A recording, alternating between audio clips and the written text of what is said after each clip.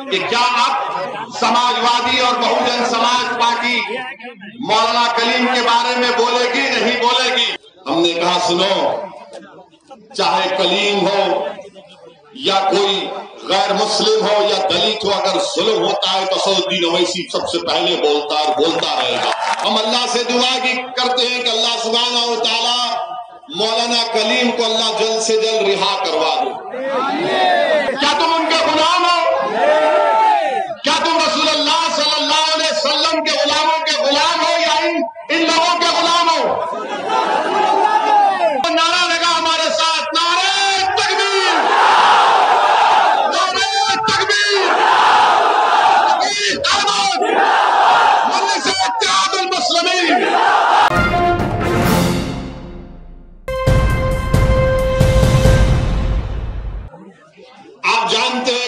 सिद्दीकी कौन है? मौलाना कलीम सिद्दीकी का नाम सुना आपने? सुना ना? जिनको यूपी की एक पुलिस ने एटीएस ने गिरफ़्तार किया। अब हमको पिछले तीन दिन से रोज कोई ना कोई एसएमएस करता है व्हाट्सएप करता है, फ़ोन करके पूछता है ओएसी साहब, कब बोलेंगे? मौलाना कलीम के बारे में कब बोलेंगे आप? तो हमने दो तीन से पूछा जो गुजरात से हमको फ़ोन किए थे। हमने पूछा, बताओ, तुम तो दो तीन फ़ोन हमको कर दिए, ये बताओ तुम कौन सी पार्टी के हो? तो उसने जल्दी में था। हमने पूछा, डर रहे हो क्या अपना पार्टी का नाम लेने के लिए? तो बोला, डरते नहीं, हम कांग्रेस पार्टी के हैं। तो हमने पूछा, बताओ, तुम्हारे राहुल ने कुछ कहा मौलाना के बारे में? तो बोले, वो क्यों बोले? बोला, क्यों नहीं बोलेंगे? बोले, आप है ना? बोला, फिर वो तुम्हारे वोट के हकदार और मैं सिर्फ़ बोलने के लिए। बोला, मैंने कहा कि पहले उनसे कहो बोलने के लिए। फिर उत्तर प्रदेश से समाजवादी के लोग हमारे पास फ़ोन में ट्रू कॉलर है। जब नंबर बचता है तो नाम के साथ आता एसपी का नेता। आता फ़ोन आया हमको फ़ोन। कहा कि आप कब बोलेंगे? मैं बोला, तुम किस कौन सी पार्टी के नेता हो? बोले, आपको कैसे पता चल गया? हमने कहा, टू कॉलर है। मैंने कहा, मैं बोल, मैं बोला नहीं, बोला अलग बात है बोलो, ये बताओ कि अखिलेश बोले? तो सन्नाटा था दूसरी तरफ़ लाइन पर। मैंने कहा, अखिलेश, क्यों नहीं बोले? बोलो ना। फिर वो फ़ोन कट कर दिए, फिर मिलाए, हम फिर फ़ोन उठाए। हम समझ गए कि इसके दिल पे दस्तक हो रही है हम बोले, बताओ अब क्या बोलेंगे? तो उसने हमको कहा कि वैसी भाई, हम दिल से आपको चाहते हैं। हम दिल से इज़्ज़त करते हैं। मगर क्या करें वोट हम आपको नहीं देते। मगर हमको उम्मीद तो आपसे ही है। मैंने कहा, उम्मीद ज़रूर मुझसे रखो, बल्कि अल्लाह से ज़्यादा रखो। मगर ये बताओ कि इस मसले में अकेले क्यों नहीं बोलेंगे? तो समाजवादी पार्टी का नेता हमसे कहा, नाम नहीं कह रहा हूँ, वरना बेचारे कल पार्टी से निकाल देंगे। उसने कहा, अगर अखिलेश बोलेंगे तो उनको दूसरा वोट नहीं मिलेगा। हमने कहा, दूसरा वोट किसका? वो दूसरे का नाम क्या है? इंसान तो है ना। बोले, आप समझ जाइए ना, हम फ़ोन पे क्या कहें मतलब बताए, क्यों नहीं? बोले, नहीं नहीं नहीं बोल सकते। हमने कहा, सुनो, चाहे कलीम हो, या कोई गैर मुस्लिम हो, या दलित हो, अगर जुल्म होता है तो सऊद्दीन अवैसी सबसे पहले बोलता और बोलता रहेगा।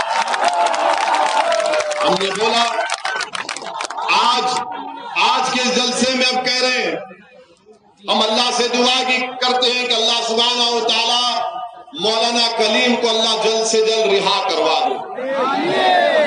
और जिस कानून में उनको पकड़ा गया, हमने उनके वकील से भी बात की, अबू बकर साहब से। हमने उनसे भी बात की।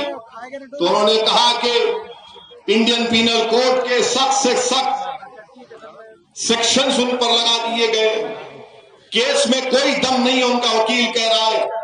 जो पुलिस प्रेस कॉन्फ्रेंस में कहती है, वो एफआईआर में उसका कोई तस्करा नहीं एफआईआर में उसका कोई तस्करा नहीं है। उन्होंने कहा कि ज़रूर इंसाफ मिलेगा, मगर टाइम लगेगा। मेरे अज़ीज़ दोस्तों और बुज़ुर्गों, ये जो योगी सरकार ने रिलीजन मज़हब तब्दीली का जो कानून बनाया, वो कानून कितना गलत है, सुनिए सोचिए आप। कि अगर मैं या कोई यहाँ से किसी का कत्ल करता है, या अटेम्प्ट टू मर्डर होता है तो पुलिस को बताना पड़ता है कि फुलाम मुजरिम पर यह केस साबित होता है। जिसको अंग्रेज़ी में कहते हैं कि बियॉन्ड रीजनेबल डाउट यानी पुलिस के ऊपर ज़िम्मेदारी होती है प्रोसिक्यूशन के ऊपर, कि वो फौजदारी मुकदमात में, कि पुलिस उस पर जुर्म को कायम करे। ये जो मज़हब तब्दीली का कानून योगी आदित्यनाथ ने बनाया। वो ये कहता है कि अगर कोई मुसलमान होता है, या कोई ईसाई होता है, या कोई दूसरा मज़हब को कबूल करता है तो उसको बताना पड़ेगा कि बगैर खौफ के और बगैर फ्रॉड के उसने मज़हब को तब्दील किया। ये कानून योगी आदित्यनाथ ने बनाया। यानी कतल पर एक एक कतल पर एक चीज़ होती है अब जो मज़हब तब्दील करता है, उस पर एक दूसरा स्टैंडर्ड लगा दिया। मेरे अज़ीज़ दोस्तों और बुजुर्गो, मैं योगी आदित्यनाथ के इस कानून की मजम्मत किया कंडेम किया। ये अनकॉन्स्टिट्यूशनल है। सुप्रीम कोर्ट के मुक्तसामी जजमेंट के खिलाफ है। और हम अब पूछना चाहते हैं कि क्या आप समाजवादी और बहुजन समाज पार्टी मौलाना कलीम के बारे में बोलेगी, नहीं बोलेगी? क्यों नहीं बोलेगी? आप बोलो, क्यों नहीं बोलेगी वो बोलो क्यों नहीं बोलते वो क्यों नहीं बोलते क्यों नहीं बोलते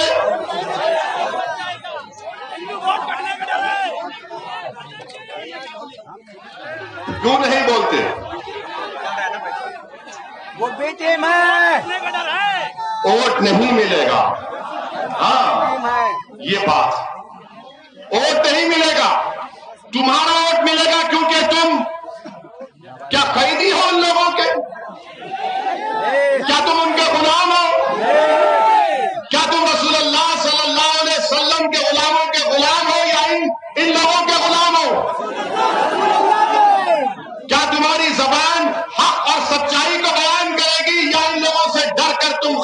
जाओगे।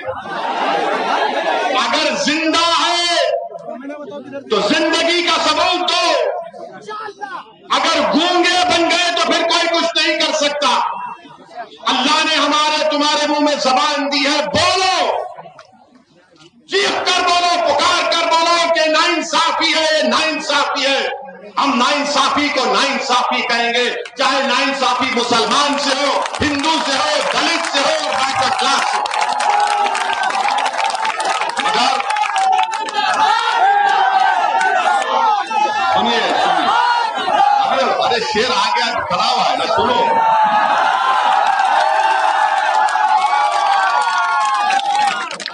मेरे अज़ीज़ दोस्तों, मौलाना कलीम के मामले में खामोश बैठे। और हम जब बोलते हैं तो देखो ये बोला ये बोला, इसकी वजह से बीजेपी को फ़ायदा हुआ। अब बोलो, ये मसले में बीजेपी को फ़ायदा हो रहा है या सच्चाई को बयान किया जा रहा है?